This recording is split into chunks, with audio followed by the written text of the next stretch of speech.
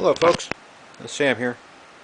I was talking with some friends uh, online about Microsoft and their error they had one day. They had the special offer for some programmers that got their hands on a special coupon. They sent away for this special archive, platform archive of every uh, operating system Microsoft had. From old Windows version 3.0 on up to actually I've been telling them to uh, Windows 95. It's actually Windows NT. Whole platform archive here.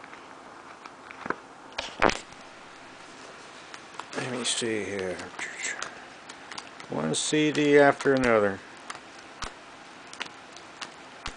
The whole platform archive of Microsoft operating systems up to Windows NT 3.1. Excuse me. Yeah, this was uh, disk 18 Windows NT server 3.51.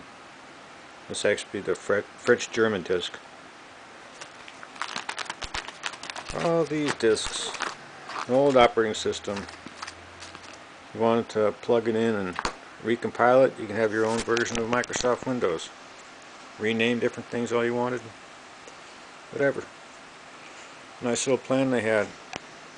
The only thing they did wrong was they left all the programmers comments in the source code.